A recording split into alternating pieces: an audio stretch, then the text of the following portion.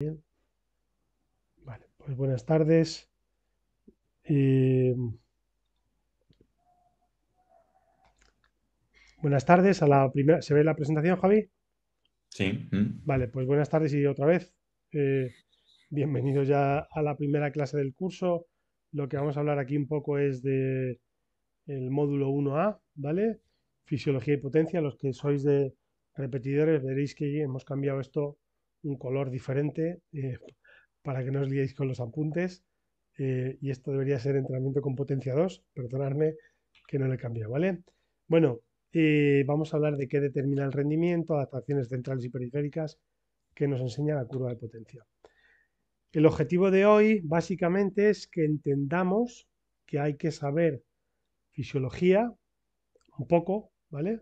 El otro día escuchaba un podcast al doctor Kugan, que es nuestro ídolo y nuestro dios, para Javi y para mí, eh, hablar en el podcast de nuestro amigo Coli, de que, oye, no hay que saber fisiología para entrenar, porque al final esto tiene que ver mucho de, hablar con el, con el cliente o deportista y, y controlar de, de datos un poco, pero que sí tienes un poco de ventaja si eh, sabes de fisiología. En cuanto más sepas, mejor. No es necesario, pero sí es muy valioso, ¿vale? Eh, vamos a hablar del paper clásico de Joyner y Coyle, que a mí esto es una maravilla. Yo cada, cada dos tres meses lo repasas y lo vuelves a repasar. Hay partes que ya me las sé de memoria, Javi igual. Eh, las limitaciones del entrenamiento con potencia, qué podemos y no qué podemos saber o intuir. Vamos a intentar entender que, que- que todo el entrenamiento por potencia eh, es una super simplificación de la fisiología, ¿vale? Y bueno, eh, presentarnos para lo que nos conozcáis e interactuar, aunque ya en la clase inaugural nos hemos presentado, ¿vale? Em, lecturas recomendadas. Pues yo estos son los mis libros de, de cabecera. Eh, este es un tratado de fisiología médica, el Guyton, esto lo estudié en la carrera, pero es el mo- lo más básico de fisiología. Este libro es una maravilla eh, para los que os guste mucho. Eh, bioquímica, pues sería interesante. Este es otro libro clásico, esta es la versión del 84 que tengo yo, de el Astran y Rodal, de fisiología del ejercicio. Y bueno, estos son, llevan muchas ediciones, aunque son los más conocidos, ¿vale? El, el Draper y el, y el McCardell de, de fisiología del ejercicio. Hay muchas opciones por ahí de, de compras de segunda mano. Yo os aconsejaría al menos uno de estos tres libros tenerlos en físico, ¿vale? Eh, y los que podáis en, en digital. Lo de segunda mano lo ha dicho Raúl porque no suelen ser libros baratos, la No verdad. son baritos, son, hablamos de 80 100 pavos por, por cada libro, ¿vale? Pero bueno, el, quizá el McCardell es el más famoso, ¿no, Javi? Mm.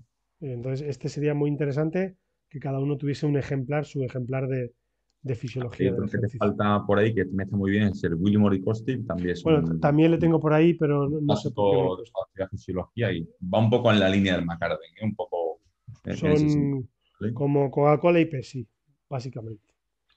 Sí, Eh, luego dice también que el compañero, el de fisiología del ejercicio, eh, de la Panamericana el también, de- es el de Chicharro, Pallarés y demás.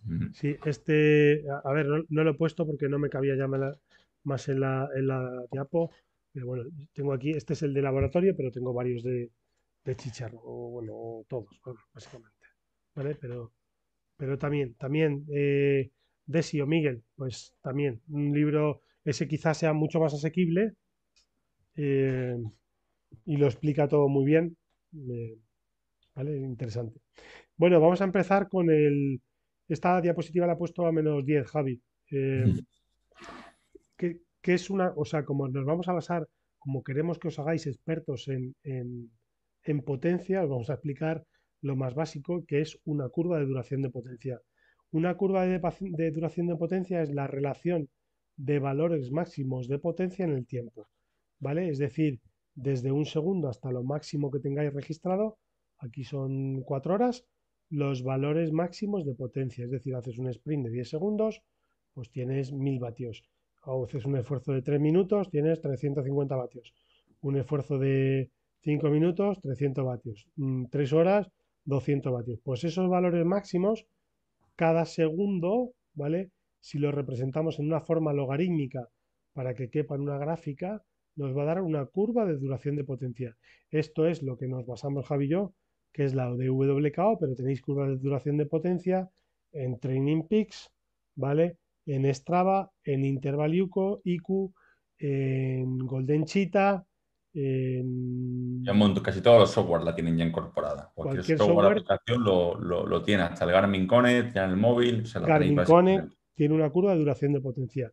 Y en principio, si fuésemos muy básicos, muy básicos, muy básicos, con la curva de duración de potencia, ¿vale? Es. Eh, ¿No se ve la diapositiva o Javi? Sí, sí, la de las cuatro curvas, ¿no? Vale, vale. Eh, es, tu, tu, pantalla, Miguel, ¿vale? Me estaba diciendo Miguel.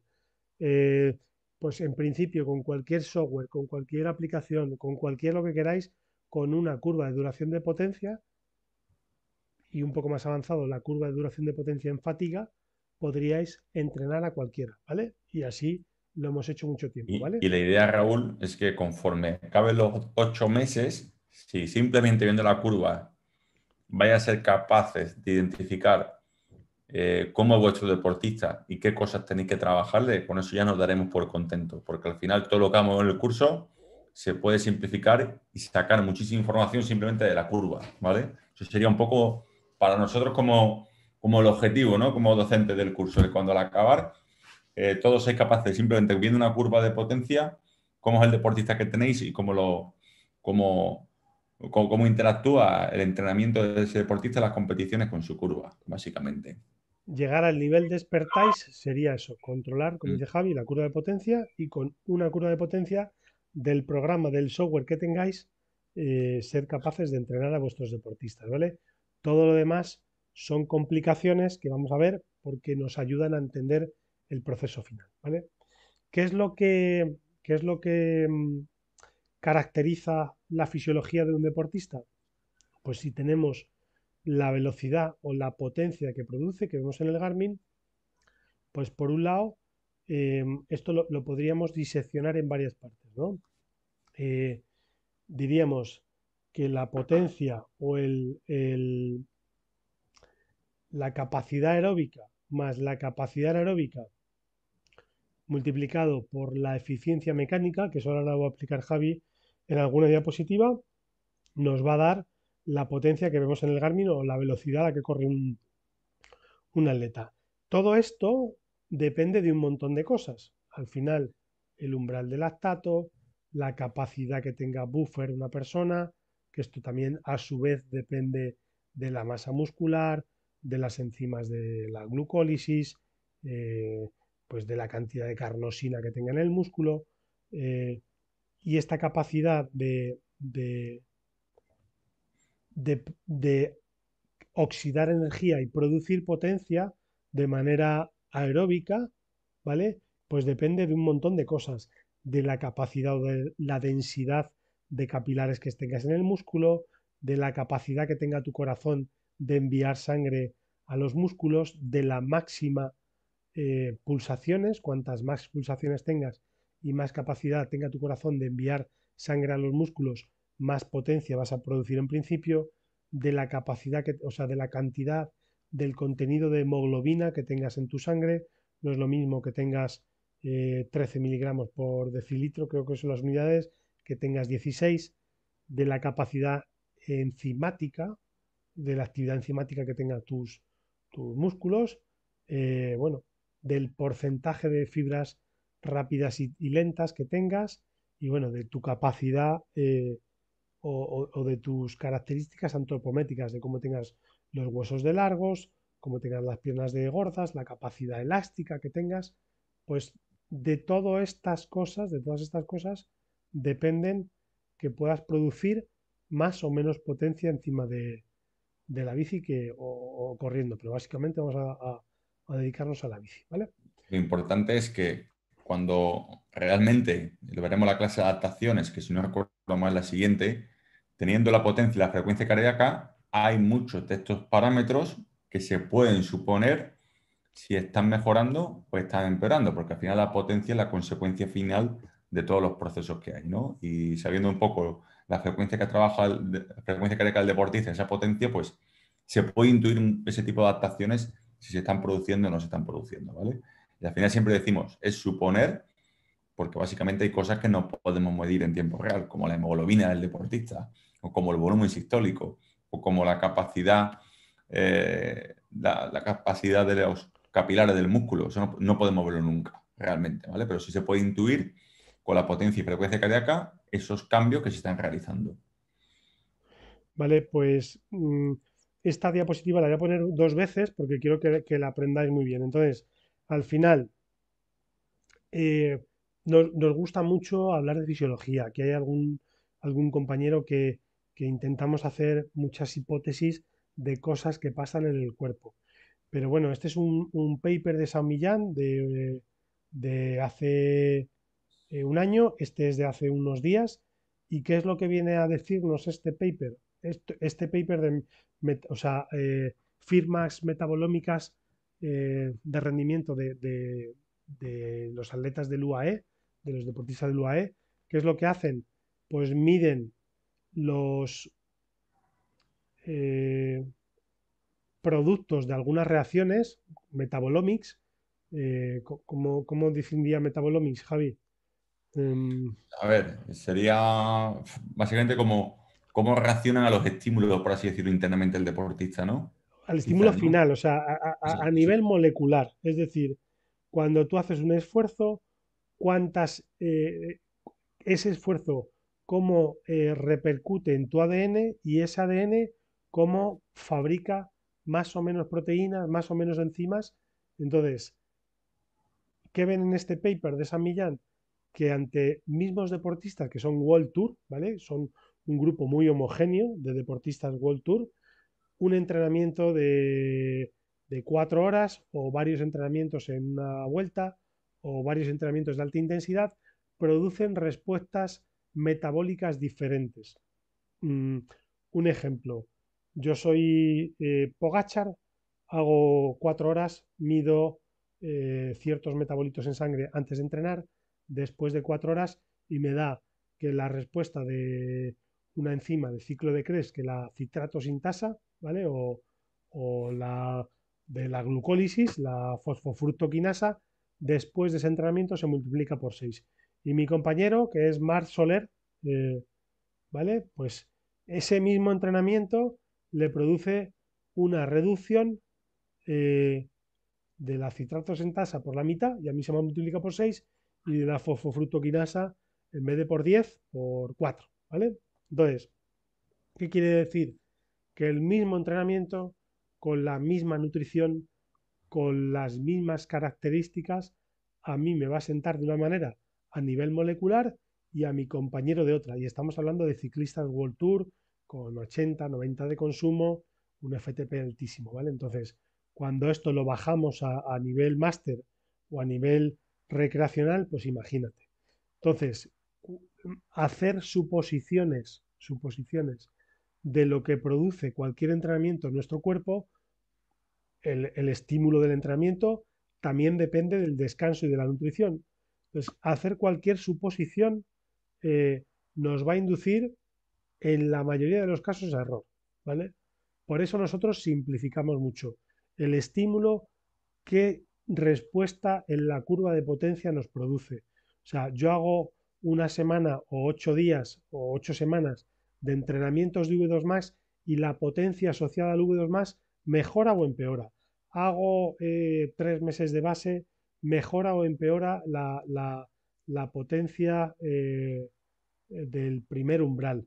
Eh, hago cinco entrenamientos de FTP, mejora o empeora la potencia de FTP, porque no sabemos si vamos a quemar más grasa FTP, si las enzimas del ciclo de Krebs se van a activar o desactivar, en qué medida, si vamos a producir más capilares o no, es una cosa, una hipótesis. Entrenamos la base, se supone que tenemos más capilares, que nuestro ventrículo izquierdo se hace más grande, pero decir eso, ¿vale?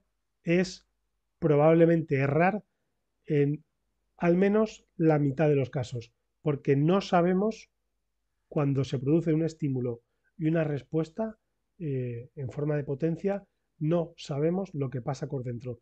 Nos gustaría, y llegará eh, dentro de 15 o 20 años, Javi, probablemente lo sepamos, ¿no? Sí, pero igual, como va desarrollando esa tecnología, pero igual el día de mañana somos capaces de medir lactato en tiempo real, por ejemplo, al igual que se hace con la glucosa, seguro.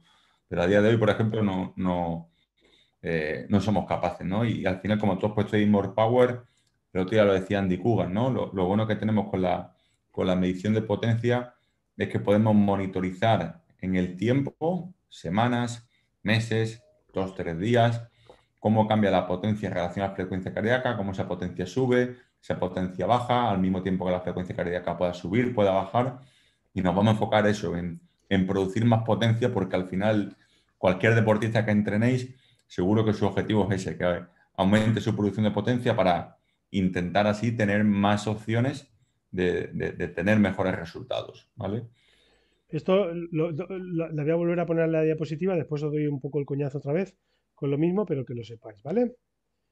Eh, a ver, aeróbico y anaeróbico. En el libro que tenemos Javi y yo, bueno, Javi y yo, con Chema, con David Barranco y Gabriel, lo decimos, nos vamos a, referir eh, como térmicos aeróbicos y anaeróbicos, eh, aeróbico a lo que ocurre por debajo de FTP V2 Max, anaeróbico lo que ocurre por encima, aunque sabemos que esos, términos son erróneos ya desde hace mucho tiempo demostrados, ¿vale? Si queréis este paper os lo paso, eh, pero básicamente lo que deberíamos de decir es que hay esfuerzos explosivos hasta 6, 8, 10 segundos, esfuerzos de alta intensidad, esfuerzos a tope de 6 segundos hasta aproximadamente un minuto, donde predomina eh, la vía glucolítica, aunque ya veremos que cambia un poco la cosa, en adición a, la vía de los fosfágenos y un poco de fosforilación oxidativa. Y después esfuerzos eh, de resistencia, ¿vale? Donde la duración por encima de un minuto hasta eh, pues, las horas que uno monta en bici, donde va a predominar la fosforilación oxidativa. ¿Vale? Vamos a decir aeróbico anaeróbico, somos conscientes de que son términos erróneos, pero como se utiliza eh, de manera mayoritaria, pues bueno, nosotros los vamos a seguir. Al final, a ver, son, términos acuñados de la fisiología clásica de hace, de, hace muchos años, ¿vale? No es ni más ni menos otra cosa que, que, el usarlo porque al final está muy familiarizado con, la mayoría ¿no? de los que lleváis tiempo en el, en el sector, ¿vale? Pero que sepáis que realmente no, como ha dicho Raúl, eh, no se dice así como tal, ¿vale? Vale, al final eh, vamos a ir simplificando un poco más. Este es un, una, evolución del clásico de Joyner y Coil, eh, Under the Hood, de Stefan van der Swart, este es un grupo holandés, y lo que mm, nosotros vemos que determina el rendimiento en ciclismo es el, V2 Max, la potencia V2 Max, lo vamos a simplificar así, el umbral de lactato, FTP, potencia crítica y el tiempo que se pueda mantener esa potencia crítica, la eficiencia gruesa y la eficiencia mecánica, ¿vale? Eh, mm, e, esto lo, Javi tiene una manera un poco ahí de, estimarlo. Estimarlo, de que no, es realmente correcta porque es una fórmula muy genérica de Guido Brumen de su libro, el, libro de que tiene hecho sobre ciclismo, y utilizan la fórmula muy estándar, entonces un poco para estimar cuál es la eficiencia gruesa, ¿no? Que al final es un poco ver eh, cuánta energía necesito para la producción de potencia que tiene el deportista. Los que son más eficientes porque tienen más nivel, pues necesitan mucha menos cantidad de energía para esa producción de potencia que alguien que no es, que no es eficiente, ¿vale? Pero que sepáis que, es una estimación, que lo ideal es para saber esa eficiencia gruesa medirla en el laboratorio, ¿no? Yo también añadiría a Raúl, aunque no lo explica en el paper como tal, que es algo que vemos, lo veremos a lo largo del curso, es la relación que hay entre los umbrales y el, y el consumo de oxígeno, tanto el 1 como el 2 y el propio consumo. Al final nosotros lo que vamos a poder estimar con potencia es básicamente el V2 max, el umbral de lactato, FTP potencia crítica, lo que tú quieras, y una cosa que hay por aquí por encima que es la Pimax, ¿vale? Entonces, con estos tres parámetros es con lo que vamos un poco eh, a simplificar todo para entrenar. Aunque esto, bueno, eh, cuando vamos al alto rendimiento, pues hay una eficiencia mecánica que hay un margen de 1, 2, 3, 4 o 5% de, de mejora que cuando ya estamos en muy alto rendimiento y, hemos optimizado todo esto, pues tenemos que optimizar. Consumo máximo de oxígeno. Al final, ¿qué es el consumo máximo de oxígeno? Pues oye, cuando tú respiras el aire, hay una parte de oxígeno. Eh, ¿Cuál es la capacidad máxima que tú tienes como deportista de meter oxígeno por la nariz, por la boca, eh, llevarlo a los pulmones y transportarlo por la sangre hasta los músculos para que produzcan potencia, ¿vale? Mediante datos de potencia insistimos que no se puede saber porque el, consumo de oxígeno está determinado por esto que es la ecuación de Fick, que es el gasto cardíaco por el volumen sistólico y la frecuencia cardíaca máxima, ¿vale? Entonces, esto no lo podemos saber, pero sí podemos estimar mediante datos de potencia cuánto es el V2 más o la potencia 2 más. Todo esto depende, aunque el gasto cardíaco es el último determinante, depende de la capacidad de difusión pulmonar, es decir, de cuando tú respiras y tomas oxígeno, cómo los pulmones son, son capaces de llevar ese oxígeno de los pulmones a la sangre, de la capacidad del transporte de oxígeno, es decir, de cuando ese oxígeno pasa a la sangre, eh, la capacidad que tenga la hemoglobina de coger ese oxígeno y transportarlo. Una vez ya en la sangre que pasa al músculo, en los músculos ese oxígeno eh, transportado por la hemoglobina tiene que extraerse en el músculo, pasar a una serie a la maquinaria del músculo para, eh, junto con, eh, con sustratos energéticos, oxidarlo y producir potencia.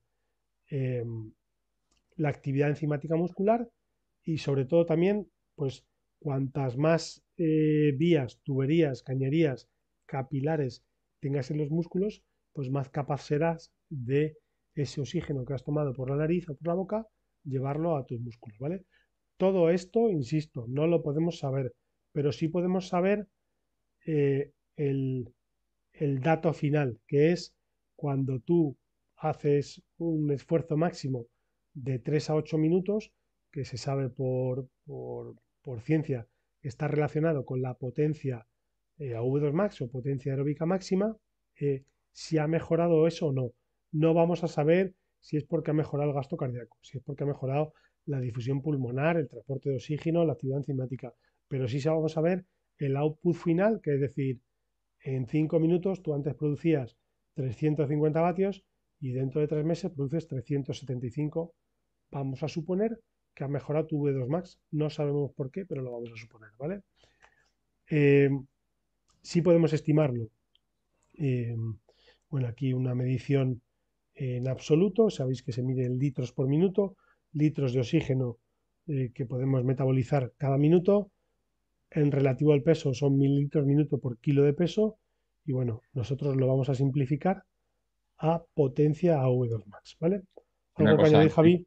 Por los o sea, por los datos que manejamos comparado con pruebas de esfuerzo y demás, todos los sujetos que tienen un peso aproximadamente entre 75 kilos, 65, esa medición está más o menos bastante correcta y es verdad que la gente con un peso más bajo de lo habitual, tanto chicos como chicas, de donde la medición quizás eh, te saca unos valores muy exagerados. A lo mejor un chico profesional de 55 kilos un peso bajo de la media, muy bajo de la media, pues te dice eh, un consumo de 90. Eso, no es real, ¿vale? Que sepáis que al final es una fórmula estadística que utiliza con una población media, todo lo que pasa en esa población media por arriba y por abajo, pues eh, suele fallar el software, ¿no? Pero como ha dicho Raúl, nosotros para trabajar el día a día, lo que me interesa es el valor que tenemos ahí, el de potencia social consumo, que son 384. Lo voy a utilizar para prescribir intervalos, monitorizar rendimiento, etc, etc. Que a mí me estime el software eh, 4,6 litros minutos o 4,4 no, no, me dice nada. Lo voy a tener un poco a modo, a modo anecdótico, por así decirlo, ¿vale? Pero que sepáis que, que al final nosotros vamos a quedarnos con ese número que, que vamos a utilizar en el, en el día a día. Y sobre todo lo que ha puesto Raúl aquí, esta pantalla que veis aquí al lado, las producciones de potencia de 3 minutos, de 5, de 8, etcétera, son, los, son las que me van a ser indicativos. Si yo tengo un deportista que va mejorando eh, toda esa producción de potencia en todos esos rangos, probablemente ha habido una mejora de ese consumo de oxígeno y de esa potencia asociada al consumo. Porque mi power output en esos rangos que van asociados al consumo mejora. ¿vale? es simplemente esta diapositiva, lo vamos a, monitorizar en el tiempo. Vamos a poner, tenemos un deportista, hacemos un proceso de entrenamiento, eh, medimos en el inicio, medimos en el final, suponemos que ha mejorado el consumo de oxígeno porque la potencia asociada al consumo ha mejorado. Insistimos, no vamos a saber el mecanismo final molecular fisiológico por el que se ha producido. No, no nos importa entre comillas, nos gustaría saberlo pero tenemos que trabajar y simplificarlo y no. Tenemos un laboratorio que es un potenciómetro, ¿vale? Respecto a los umbrales, eh, pues bueno, también esto es una simplificación de la fisiología humana. Eh, cuando alguien se somete a un eh, esfuerzo en un test incremental, desde la mínima potencia hasta hasta que queda exhausto, ¿vale? Imaginaros que os ponéis en un rodillo, empezáis 80 vatios, 100 vatios, 120 vatios, 140. Esto que sepáis que no se produce en la realidad de la práctica ciclista, pero sí en un laboratorio, en una prueba de esfuerzo, eh, eh, utilizamos este tipo de test para ver algunos hitos fisiológicos, que algunos están un poco en... Eh, Mira, Mark pregunta dónde puedo preguntar el, VT1 exacto en WKO. Esa es la caja de Pandora. El día que la abramos va a explotar todo, Mark. ya, ya lo contaremos. Ya lo contaremos. Es, muy sencillo. Bueno, muy sencillo. Es sencillo, ¿vale? Entonces, cuando hacemos un, test eh, incremental, nos vamos encontrando en diferentes estadios o fases. Estos son un poco artefactos, son creadas por, por la mente humana para entender lo que pasa y vemos que hay un primer umbral, ¿vale? Que ya os digo yo que no existe, salvo el VT1, que bueno, podría detectarse algunos cambios. El primer umbral, el lactato, no existe, no hay un, cambio eh, que se vea, eh, ya lo veremos. Eh, si seguimos incrementando la intensidad, llegaríamos a esta fase 1, la fase 2, a un segundo umbral, ¿vale? Que vamos a llamarlo umbral anaeróbico de manera general. VT2 si medimos gases. Onset Blood Lactate, la A no sé por qué es, Onset Blood Lactate, bueno. No lo recuerdo, pero vamos, eran justo los 4 milimoles. 4 milimoles, Functional Threshold Power, máximo estado estable de lactato, potencia crítica, vamos a llegar ahí a un punto, un umbral, un hito eh, que se producen cambios en la fase 3, desde ese segundo umbral, umbral anaeróbico, hasta la potencia aeróbica máxima, pues siguen sucediendo cosas y en la fase 4, por encima de la potencia aeróbica máxima, pues siguen otro tipo de cosas, ¿vale? Esto también que sepáis que es una simplificación para que entendamos un poco eh, eh, las intensidades de ejercicio, pues bueno, el dominio moderado, el dominio duro y el dominio severo, los que utilizan con potencia crítica, ¿vale? Entonces, esto lo vamos a intentar determinar con potencia. Aquí desde hace un tiempecito, pues hemos logrado eh, determinar un primer umbral. No nos gusta llamarlo VT1, Mark, eh, lo llamamos PUP, primer umbral de potencia, porque no lo hemos determinado con gases. Tampoco lo llamamos LT1 porque no lo hemos determinado con lactato. Nos gusta llamarlo PUP o primer umbral de potencia porque lo hemos estimado con potencia, ¿vale? Vamos a tener un segundo umbral que nosotros lo vamos a llamar siempre FTP o en algunos casos potencia crítica, que también tenemos la ESA, y vamos a tener un tercer, no se llamaría umbral, sino hito fisiológico, que sería la potencia a V2 max, el V2 max, potencia pico, ¿vale? Esto, eh, cuando habléis con alguien que es muy friki de laboratorio, una ratilla de laboratorio, pues va a empezar a comer la cabeza, que si esto es el, umbral de lactato el umbral ventilatorio, este es el RCP, el segundo umbral, a nosotros nos da igual, vamos a simplificarlo. Primer umbral, FTP y V2+, ¿vale? Y estos son los tres hitos, ¿vale? Que vamos a intentar desplazar al máximo. Si alguien tiene un umbral de 200, vamos a intentar subírselo, un FTP de 300, vamos a intentar subírselo, y una potencia V2 más de 350, pues vamos a intentar subírselo con el entrenamiento que planteemos. No sé, Javi, ¿algo que añadir? No, no, ahí está todo, más que claro. Todo claro, ¿no? Umbrales, pues mediante potencia no puedo saber, lo repito, ni el primer umbral de lactato, ni el primer umbral ventilatorio, ni el umbral aeróbico. Tampoco puedo saber el máximo estado estable de lactato, el segundo umbral de lactato, el, el onset de blood lactate, el VT2. Accumulation. accumulation. onset blood lactate accumulation. Vale. El, segundo umbral respiratorio, el umbral anaeróbico, no lo podemos saber. Pero sí podemos saber lo que os he dicho. PUP, eh, FTP, potencia, más. Y con eso, esa simplificación es la que vamos a trabajar, ¿vale? Si puedo calcular bueno, eh, lo que os he dicho, esto es más de lo mismo, ¿vale? ¿Con HRV se puede utilizar, estimar el VT1? Es otra manera, es Rafa, pero yo, yo igual insistiría, si, os quedáis, eh, eso es, PUP, primer umbral de potencia. Yo con HRV no diría que se llama VT1 porque VT1 significa Ventilatory Threshold o FIRST, o Ventilatory Threshold. Yo llamaría primer umbral de variabilidad de frecuencia cardíaca, ¿vale? No lo llamaría VT1, aunque lo vas a oír por ahí, pero que sepáis que de nosotros no ha salido, ¿vale? Bueno, podemos estimar eh, un primer umbral de potencia y aquí me vais a tener que perdonar porque no lo, he corregido, pero aquí tendría que poner PUP, ¿vale? Donde pone LT1 debería poner PUP, ¿vale? Es una una estimación que ya os enseñaremos cómo comprobar que el primer umbral de potencia que nos da WKO eh, coincide con un entrenamiento que hayamos hecho, ¿vale? Importantísimo, la relación entre umbrales. Esto algún entrenador lo pone en entredicho, pero esto es un clásico de hace mucho tiempo. Nosotros tenemos súper comprobado que la relación entre umbrales... Os voy a poner esta, esta diapositiva otra vez. ¿vale? O sea, el porcentaje de esto sobre esto, si esto es el 100%, el porcentaje de esto y el porcentaje de esto sobre esto, cuanto más acercado estén, más en forma va a estar un deportista, es decir, si esto es el 100%, el FTP, cuanto más cerca, 85, 86, 90 respecto al V2 más, más en forma va a estar, cuando más eh, a la derecha está el primer umbral respecto al FTP o al eh, V2 max eh, más en forma va a estar el deportista y eso nosotros lo vamos a monitorizar en el tiempo.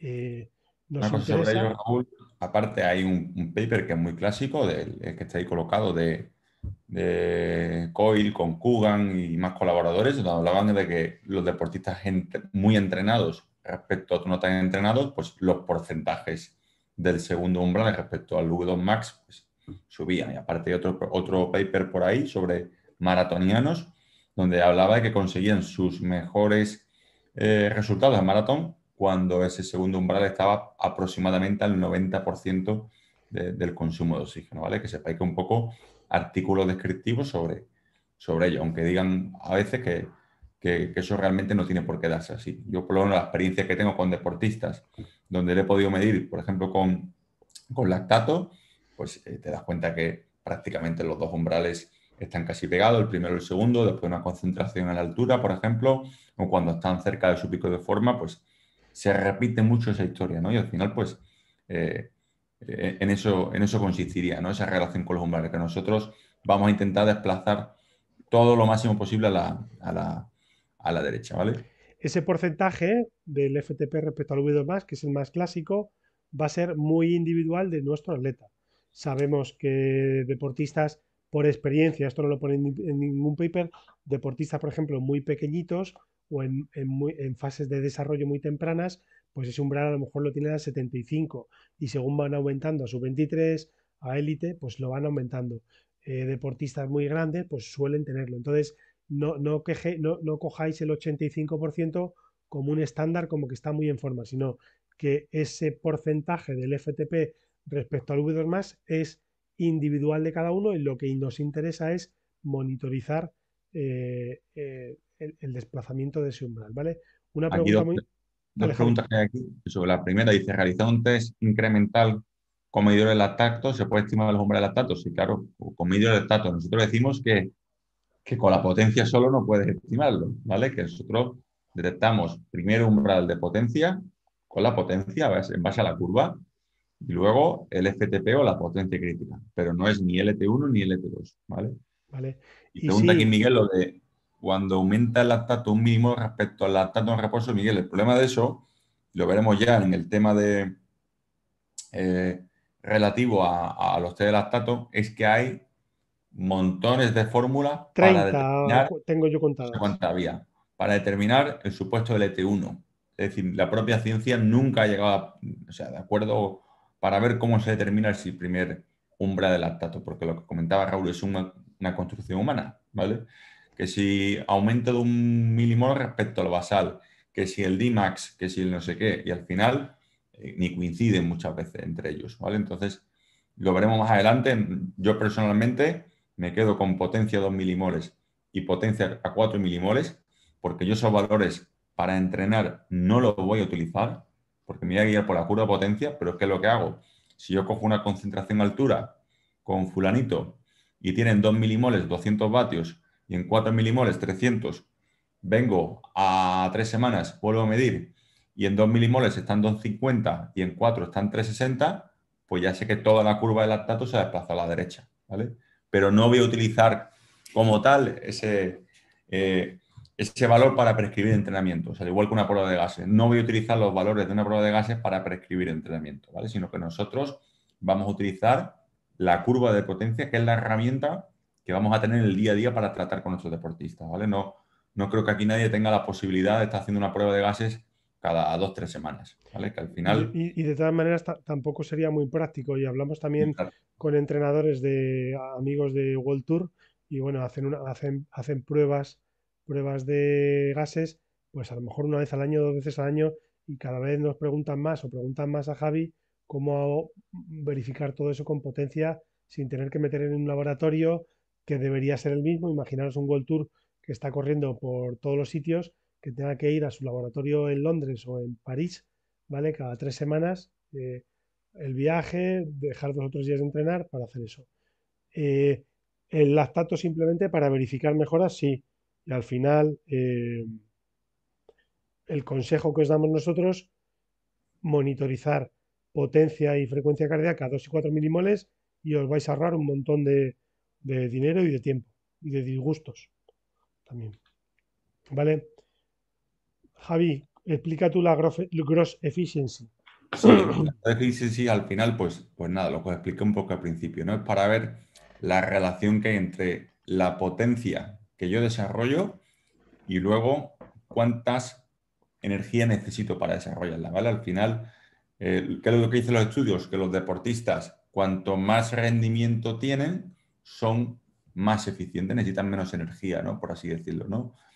Eh, la fórmula que tenéis, lo pasaremos, la chart de VKO, es esta que tenéis aquí, que claro, como todos esos parámetros los podemos estimar con VKO, pues es la estimación de la estimación, ¿vale? Sin más la mayoría de deportistas pues, se mueven en torno al 20-25% de, de gross efficiency, ¿vale? Y la gente de mucho nivel, pues suele andar en torno a esos 25%, ¿vale? Entonces, realmente ya decimos, es una estimación, pero realmente la manera de estimarlo sería una prueba de gases, ¿no? Para saber cuál es la eficiencia gruesa del, deportista, ¿vale? Eh, evidentemente, esa gross efficiency suele cambiar en función de la intensidad a la que estás trabajando, ¿vale? La medición que nosotros tenemos hecho por potencia, por simplificación, es a la de FTP, ¿vale? Para que lo tengáis claro de dónde sale el número, ¿vale? Vale. Eh, Roda Bike Fit, cada tres meses un aconsejable un test de lactato. Cada ciclo, tres, cuatro meses. Em, hay que tener en cuenta también que la, la eficiencia gruesa eh, viene determinada por las características antropométricas del deportista y por el tipo de fibras. Entonces, eh, pues también cualquier eh, estimación que hagamos con potencia, pues a, lo mejor no tiene en cuenta eh, un sprinter de un escalador, que sabéis que un sprinter pues va a tener más fibras tipo... Son muy, muy frecuente los que trabajéis con sprinters, pues todo lo que son esfuerzos de regulación suelen tener más problemas, necesitan mayor cantidad de carbohidratos, la recuperación muchas veces suele ser en ocasiones peor, eh, a nivel de planificar los descansos, un día de descanso total, a nivel hormonal les suele afectar más, pues eh, suelen ser sujetos que tienen peor gross efficiency, por ejemplo, ¿vale? Pero que con el software en sí, pues difícil de estimar esa gross efficiency. Os vamos a enseñar a distinguir, eh, bueno, el, software te lo dice, el WKO, el perfil, ¿vale? Pero, pero un poco, si tratáis con sprinters, pues que sepas que son una población un poco particular de ciclistas y hay que tratarlos con mucho cariño y con, mucho cuidado porque en principio, eh, esto lo digo como primicia, cualquiera que trata con un sprinter que no tiene experiencia, tiendes a pensar que son vagos, que no les gusta entrenar, pero lo que pasa que son, están, si un ciclista de alto rendimiento está siempre cansado, pues un sprinter todavía mucho más cansado. Entonces, y suelen, suelen tener que reajustar continuamente muchas veces la nutrición y, comer más, aunque crean que no están comiendo. Eso está aquí Vivi, que es sprinter, allí en Brasil, muy rápida y, llevaba varias semanas mal y hasta que no ha empezado a volver a meter más comida, pues no se ha notado bien, aunque uno cree que está comiendo lo suficiente. Eso me dice sí. Lo dice sí, ¿vale? Vivi, nosotros sabemos eso, que los sprinters no son vagos. comer más. Y no están siempre cansados, sino que por su fisiología, eh, meter más comida, pues que... En el día a día, Miguel, que coma mucho más carbohidrato en el día a día. Sí, cuando están intentando limar el peso, lo primero es que hacen intraentreno y carga previa, todo, Miguel, todo. Eh, intentan limar de ahí y al final eso suele llevar a, pues eso, a estar reventados. ¿Vale? Eh, bueno, ya, ya os contaremos un poco esto. No se puede determinar la gross efficiency se puede determinar hasta cierto medido, estimar, ¿vale? El tipo de fibras, de fibras rápidas o lentas en, en pues esto ya, ya lo, iremos, lo iremos viendo, ¿vale? Ahí tenéis el, tenéis el paper también de, el anterior, el de Coil, ¿no? Que relacionaba que cuanto mayor cantidad del tipo 1, pues por lo general eh, más eficientes son los sujetos, ¿vale? El Valentín Alonso, pues el Pursuiter es un espécimen raro también, porque mm. suelen ser gente que tiene muy buen o Pimax alta, ¿no? Buena Pimax, pero sobre todo esfuerzo entre 3, 5 minutos buenos, ¿vale? Tiene capacidad glucolítica alta, una potencia social consumo relativamente alta, ¿vale? Pero al final igual es el Pursuiter prácticamente es como un lanzador de sprinters, ¿vale? Para hacer los lead outs, lead outs que se suele decir, ¿vale? los papers están en el contenido del curso, los subo todos, ¿vale? Si ves que alguno se me ha ido la olla y no lo he subido, me lo pides por, por Facebook y en el grupo de Facebook, eso sí, es una cosa que vamos a subir tesis doctorales, eh, papers y todo, todo lo que veáis en las presentaciones y que no lo encontréis por ahí, me lo pedís por, por Facebook y yo, vamos, los envío porque todos los tengo archivados en, en mi ordenador, ¿vale? Eh, bueno, estos son char que ya veremos cómo, cómo se utilizan. Eh, un chart también que se inventó Javi de la monitorización de la gross efficiency. Este es un chart pues, típico de WKO donde se ve bueno, el FTP, el FRC, y más, W más. Fijaros aquí, a ver, esto es una simplificación, pero fijaros que hay la capacidad anaeróbica, la del verde, del FRC, ha ido subiendo. Vamos a asumir que han aumentado las, tipo, las fibras tipo 2, ¿no? Pues al final pues baja un poco la eficiencia según la fórmula, pero que, ya os digo que estos son estimaciones de estimaciones, simplemente para monitorizar. Eh, eficiencia mecánica metabólica, esto lo veremos con mucho detenimiento en, una clase de Javi de, bueno, de, eficiencia. Sí, vamos a ver básicamente, a ver, que con la llegada de los... Eh, con la llegada de los medidores duales de potencia, pues ha abierto un abanico un poco para, para medir un poco cómo de bueno es uno pedaleando o cómo de malo es. ¿vale? Y evidentemente, pues eso se puede, se puede mejorar, ¿no? Vamos a ver que para dos sujetos de un mismo peso, que haga los dos 300 vatios, en un momento determinado no tiene por qué decirme nada. Y puede pasar que si el sujeto que de 300 vatios pedalea mejor, hace que de esos 300 vatios aproveche, más la potencia, lo que sería el GPR, la potencia útil, ¿no?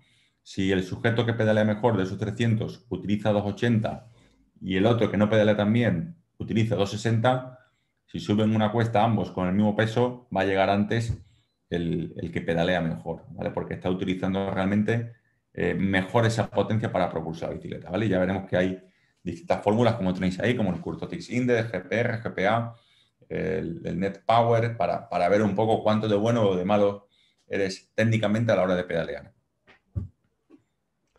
Bueno, esto mm, para que lo veáis, pero esto lo explicará Javi con detenimiento en el módulo 7. Em, como conclusiones, pues como conclusiones es que no podemos calcular parámetros fisiológicos, pero sí estimarlos con valores de potencia equivalentes, ¿vale?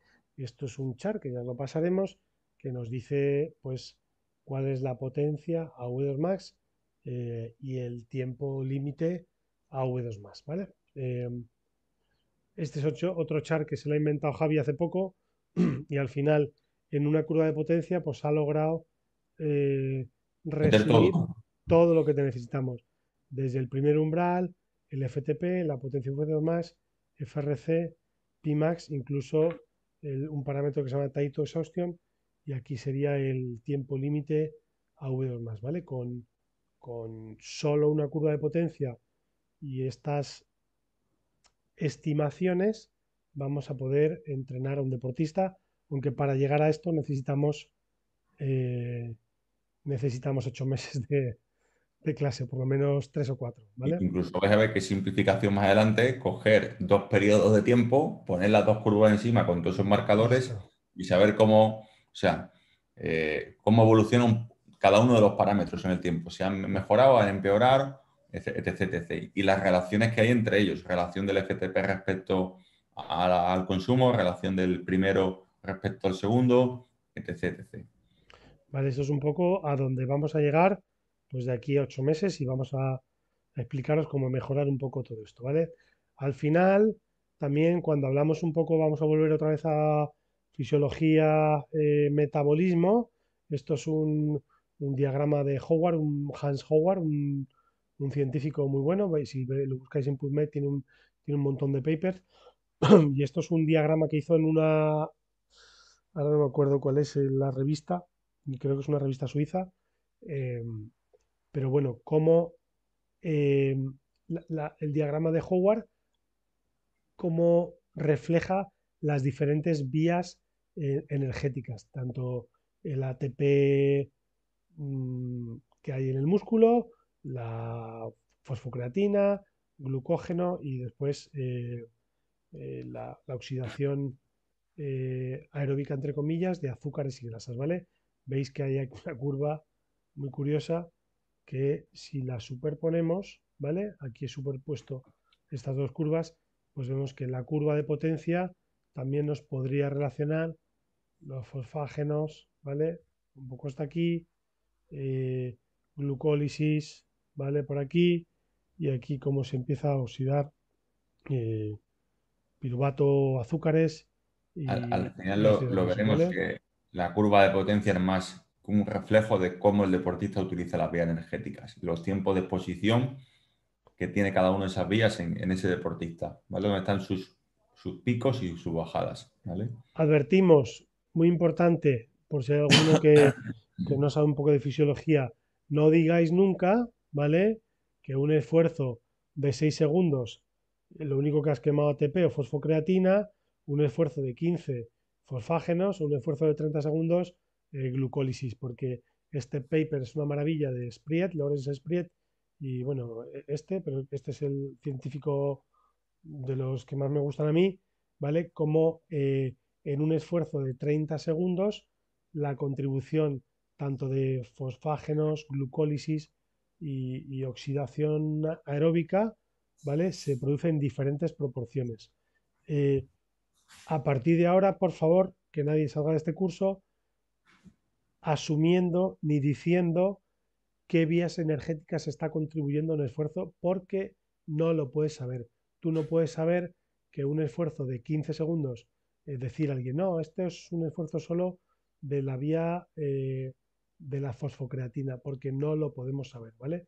Eh, y si nos, si nos, escucháis a nosotros decirlo alguna vez, pues también echarnos la bronca, porque lo, diremos con algunos char que tenemos el tiempo límite de la fosfocreatina, eh, donde empieza la glucólisis y demás, pero son solo estimaciones. Estimaciones basadas en la potencia. Basadas en la potencia, ¿vale?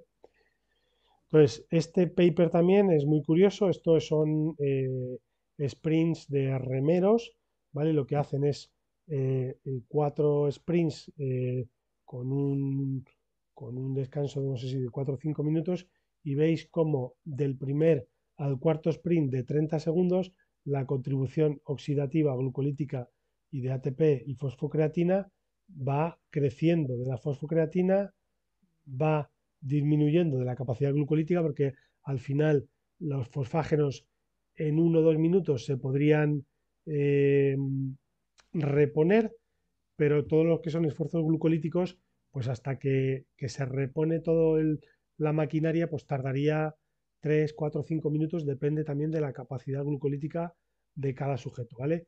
También Una cosa importante, Raúl, de este paper es que el, de esto, esto es, este es el resumen de toda la muestra, pero luego si miráis los datos dentro del paper, cada sujeto tenía distribuciones distintas. Diferentes. O sea, que tengáis en cuenta. Ahora, aquí es 35 más menos 15. Eso es. ¿Vale? 12 más menos 6. ¿Vale? Habrá gente. que, fijaros que conforme pasa el tiempo, o sea, el último sprint, va aumentando el más menos de la contribución oxidativa, si os dais cuenta. ¿Vale? ¿Vale? El, que, el que sea más glucolítico va a ser capaz de mantener más en el cuarto sprint que aquel que no sea tan glucolítico. ¿vale? Por eso hay ese más menos 15 ahí, si os dais cuenta. Vale. En el cuarto. Tener en cuenta que esto no lo podemos saber con potencia. Entonces, cualquier asunción, hipótesis de vías energéticas que hagamos con potencia, pues probablemente vamos a ahorrar al menos, ¿vale? Siendo muy optimistas, en un 10 o un 15%, ¿vale? Y conforme se producen los esfuerzos de alta intensidad, ya sean de muy alta intensidad o de esfuerzos más glucolíticos, pues va variando. Entonces, no asumir nada con potencia, ¿vale? insistimos otra vez, lo que nos interesa de todo, de todo, de todo, es que produzcamos más potencia en toda la curva de potencia. Da igual, entre comillas, que nos venga porque mejoramos la glucólisis, el V2 max, la fosforilación oxidativa, la resíntesis de los fosfágenos. Si sabemos un poco todo eso o sabemos un poco de fisiología, vamos a entender un poco más por qué. Pero al final lo que queremos es producir más potencia, ¿vale? Pues preguntas y respuestas. Eh, aún no tengo WKO, estoy buscando a alguien con quien compartir las medidas. Pues Juanmi, eh, Juan Miguel, lo pones en el grupo de, de, Facebook y seguro, seguro, seguro que hay alguien que lo pone. Si ahora podéis, os queréis poner en contacto algunos, pues os ponéis en contacto. ¿Vale? el número de... Te lo paso, bueno, esto es de dominio público. Tú, eh, Alfa Training, supongo que no estás en España, te lo paso por aquí. Lo tendrás al tato tu número, Raúl, en verdad. ¿Cómo? Lo tendrás al tato, ¿no? sí, Está, está en la página web y todos lados, pero vamos, te lo paso por aquí, ¿vale? Sin problema. En este curso trataremos WKO, sí, vamos a tratar WKO en profundidad. De hecho, el año pasado hicimos el curso este en seis meses y este año lo hemos hecho en ocho meses porque queremos, eh, cuando sea determinante WKO, eh, pasarlo los char, abrir WKO, ver cómo monitorizamos los entrenamientos, cómo lo ponemos, etc. etc. ¿Vale? Eh, preguntitas, chicos a 44 en directo, ¿eh, Javi? Está el invierno. Ha vuelto el invierno. Menudo. Será pronto. Por entenderlo todo lo que se habla de Chart, ¿será pronto? Eh, sí, sí. Eh, mm, a ver, vamos a dar un poco las bases, las adaptaciones y todo eso, pero Javi es muy de compartir pantalla, mostrar sus atletas, WKO y, y, cada vez que, cuadre lo pasamos. Y oye, Eh, mira, ya tienes a uno. Juanmi, Víctor, poneros de acuerdo. Me escribís a mí si no tenéis los teléfonos y ya, ya tenéis uno para compartir WKO. ¿Vale? Chicos, más preguntas que tengáis. ¿Ha quedado más o menos todo claro? Se han quedado muy callados. Yo insisto. eh, sí, eh, sí, esto lo, lo pasamos todos, que no, no hay problema. Ah, bueno, es importante tener en cuenta que la licencia de Mac y de Windows no vale, ¿vale? No son intercambiables, ¿eh? Los vídeos están infinito tiempo encargados, por lo menos un año, Alex. Por lo menos un año. De todas maneras, yo llevo con la plataforma hasta cuatro años y no he borrado ningún vídeo. Digo un año por si me da un día la vena y la cambio, pero no, no lo he cambiado. Las presentaciones también. Ahora, en cuanto acabemos, eh, lo subo a toda la plataforma, como he explicado en la clase de introducción. Eh, gracias, Rodabike. Eh, como he explicado en la clase de introducción, lo voy a subir todo, el PDF de la presentación, los papers y los charts. Es difícil subirlos por, por la plataforma, pero lo pasamos en el grupo de Facebook. Mejor en el grupo, en el grupo de Facebook es más fácil de subir, ¿sabes? Cuando lo tengamos ahí, lo, lo pasamos, ¿vale? Es oro puro, dice, dice. Pues muchas gracias, tío. Mm, bueno, dejamos eh, Sony 22, tres minutillos más Mm. de preguntas y si no nos vamos ya a cenar los que estamos en España a comer los que estáis en, en Latinoamérica.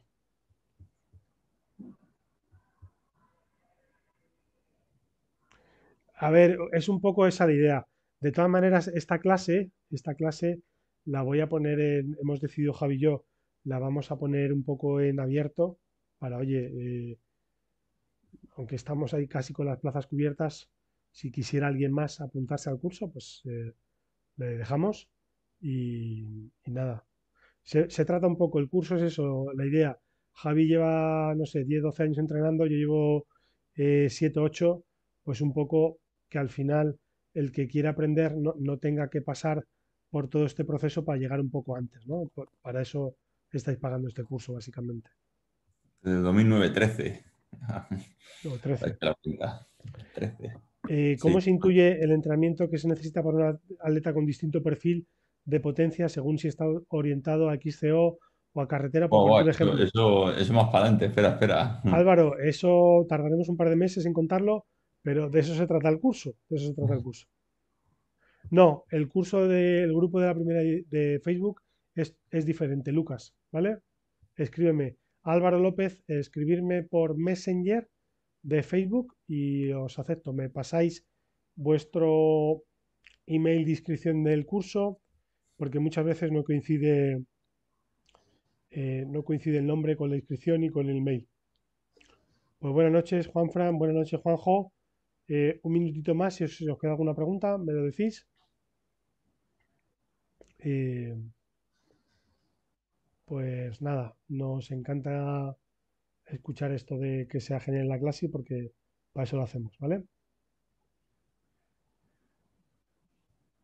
En Noruega estamos cenados hace tres horas. Eso es lo que teníamos que hacer en España, Alex. Bueno, chicos, cuidarse todo. eh, estamos ahí en el, en el grupo de Facebook, ya empezamos a interaccionar. No hay nada hecho todavía, pero que sepáis que, bueno, entre esta noche y mañana espero que estéis metidos todos y empezamos ahí ya, ya la clase. ¿Vale, chicos? Pues nada, muchísimas gracias y, y nos vemos el miércoles que viene, misma hora, mismo sitio.